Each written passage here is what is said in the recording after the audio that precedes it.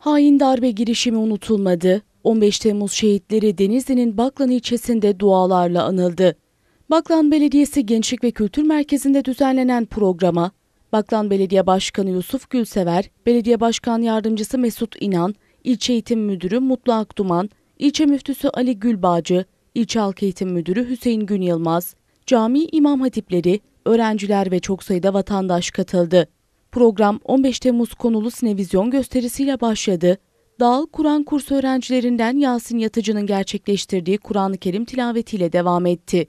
Programda konuşan Baklan Belediye Başkanı Yusuf Gülsever, 15 Temmuz Türk milletinin unutmayacağı ve unutturmayacağı bir gecedir. Bizler gençlerimizi vatanına, milletine, dinine, Allah'ına ve kitabına uygun bir nesil yetiştirdiğimiz sürece bizleri mağlup edemeyecekler dedi.